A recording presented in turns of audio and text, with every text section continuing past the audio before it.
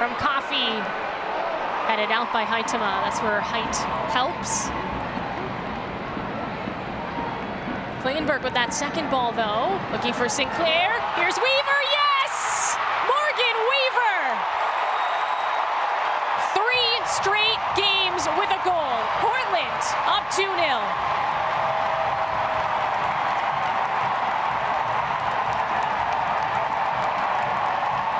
Well, Morgan Weaver is certainly in great form, and she's giving these fans something to cheer about. An excellent finish from her, and it just speaks so well for how the Portland Thorns have been attacking. And this is coming off a set piece, too.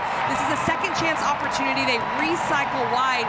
And again, it's services. They're on point. The runs are great, battling in front, and the finish going right back to the area where it came from just capitalizing on opportunities. She does everything technically perfect in that moment.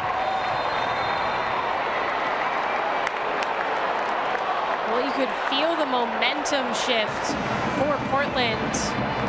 And now two straight unanswered for the Thorns.